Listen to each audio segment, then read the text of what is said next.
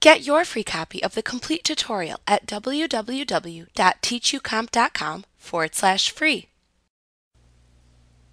When you add multiple tables to a query in the Query Design view, the joins that you have established between tables within the Relationships window appear in the query, allowing you to access information from any related tables. However, if you are attempting to create a query using unrelated tables, then you can create a temporary join between tables in the upper section of the Query Design view. For example, you would need to do this if you were trying to query two linked Excel tables using Access.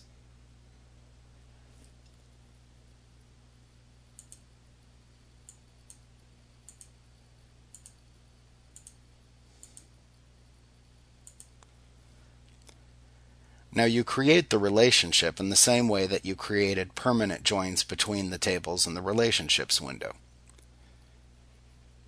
You simply click and drag the common field from one table and drop it on top of the related field in the second table. You can then edit the relationship between them to assist you in producing the desired results for your query. To do this, you can double click on the Join line and the Join Properties dialog box will appear, showing the names of the linked fields and the tables.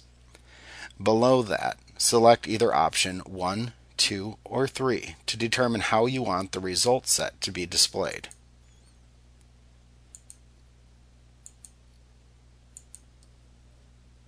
Now when you have the desired settings, click the OK button.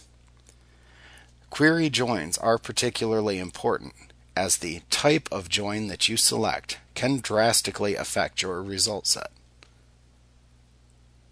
Like what you see? Pick up your free copy of the complete tutorial at www.teachucomp.com forward slash free.